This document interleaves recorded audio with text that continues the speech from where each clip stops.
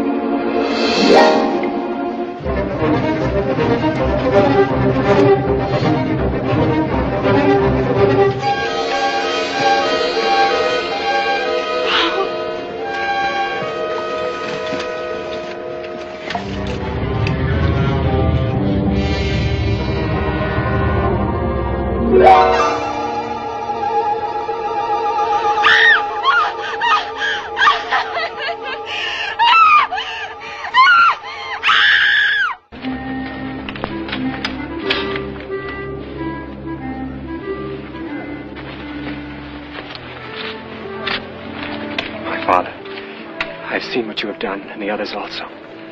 I am ashamed. No more than I, my son. Well, then, I would have you take your place of command as head of our family once more. I think there is now another command, even above that. We have each been told what we must do, and we will do it. You that are young will stay here and fight on. And you, father? I would be where these hands can be used. I and my old woman with me will go into free China, and they'll raise food to fill your bellies while you fight. Let us go then. Well, the strength is still in us. There is the thing. If one of us lives, he must go back one day to claim the land. I so charge you all. If you live, you must do this. My wife and I will walk a little way with you. We will see you out of sight.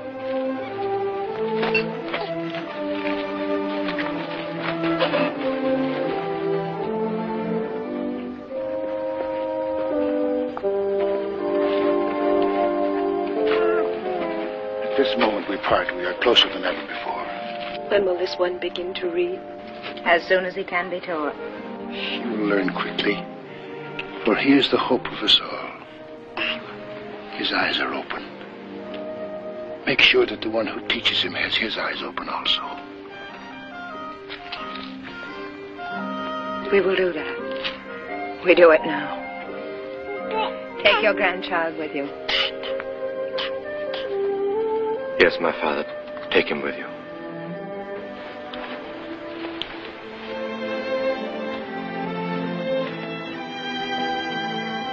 Care for him and teach him. He will be as our own. What else? For that is what he is.